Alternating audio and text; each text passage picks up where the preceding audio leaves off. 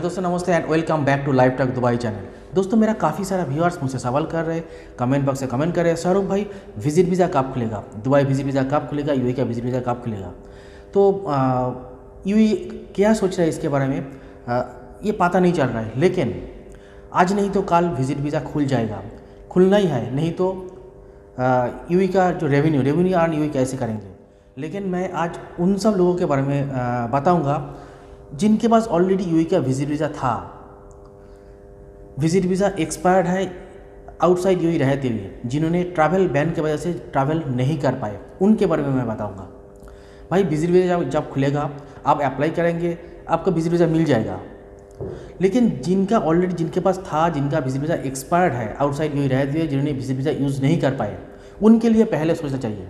क्योंकि already you earn revenue from this people तो ये इन सब लोगों ने अपने पैसा लगाया। इनमें से मैक्सिमम लोग गरीब हैं गरीब आदमी।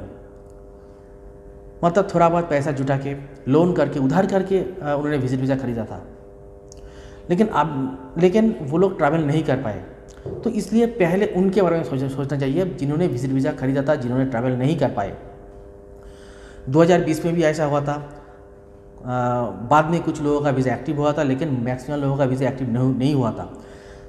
तो मेरा मेरा इस वीडियो बनाने का मकसद यही है कि आप पहले उन सब लोगों का वीज़ा एक्टिव करें जिनके पास पहले से विज़िट वीज़ा था, जो लोग ट्रैवल नहीं कर पाए, ट्रैवल बैन की वजह से, उनके बारे में पहले सोचें, उनका वीज़ा पहले एक्टिव करें, ताकि वो लोग ट्रैवल कर पाए। मुझे पता है मेरा आवाज़ उतना दूर तक नहीं जाएगा, लेकिन इस मतलब बोलना चाहिए, इसके ऊपर बोलना चाहिए, जो सही है वो बोलना चाहिए। देखिए जो नॉर्म जो लोग नया वीज़ा के लिए अप्लाई करेंगे, आपको तो वीज़ा मिल जाएगा।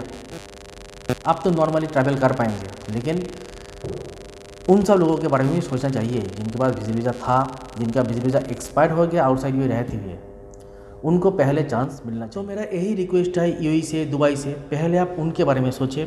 जिनके पास विज़िट वीज़ा था, जिनका विज़िट वीज़ा आउटसाइड यू रहते हुए एक्सपायर्ड हो गया। क्योंकि इनमें से मैक्सिमम लोग गरीब हैं।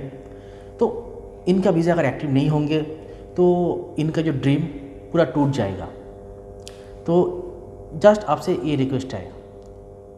Thank you so much bye bye